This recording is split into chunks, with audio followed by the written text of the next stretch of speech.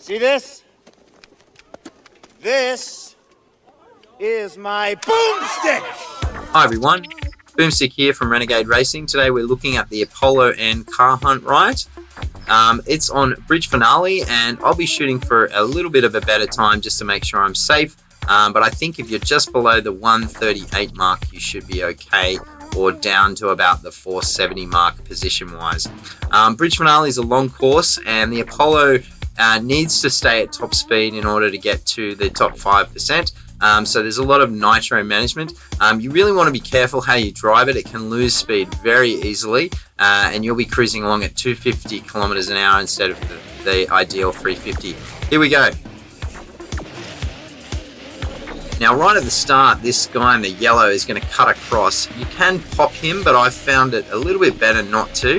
Um, and then you want to hit that nice and clean and just keep going with that. Um, don't drift too early on this section and just build up to a shockwave over that section there and uh, just make sure it keeps going around there.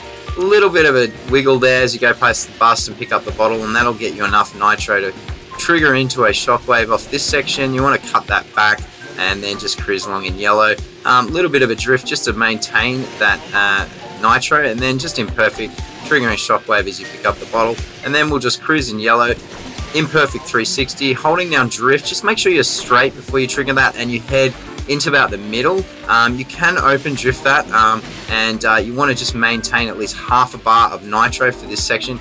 Open drift here and then you want to shockwave up this barrel roll and get, take it all the way through holding down drift at this section then triggering back again but cutting it off. You want to just do a little bit of a drift into here and then get ready to do blue across this garage warehouse section um, and then you want to come back to yellow and just pop it straight away just to build your speed. And then just turn through this section here um, drifting and building up a shockwave.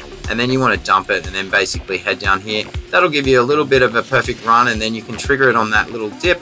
And then you'll pick up this bottle, hammer into the imperfect here, and just hold down drift and aim for a shockwave. I didn't get it there. Pick up the near miss, drift, and you want to shockwave this last section just to make sure you've got the um, nitro. Now, if you are running low on nitro, you can break nitro there at the end just to extend it out a little bit. Obviously, I got a 136.963, uh, and that's put me in position 254. And I'll just quickly um, check the positions and give you an updated uh, tally on where they are. Uh, the positions obviously will define the brackets.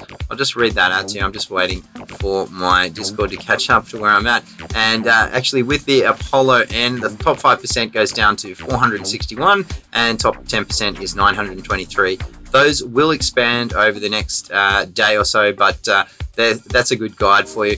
I think if you get below uh, the 138 mark, like if you're a 137 point something, you should be reasonably safe for the for the top five percent. Um, though maybe some people might put in some extra time soon between now and then. So really, really trying to get into the low 137s. All right, everyone. I hope that's helped. If you have any questions, please put it up in the comments, and I'll get back to you as soon as possible. Otherwise, if you're new to the channel, um, please give me a like up there.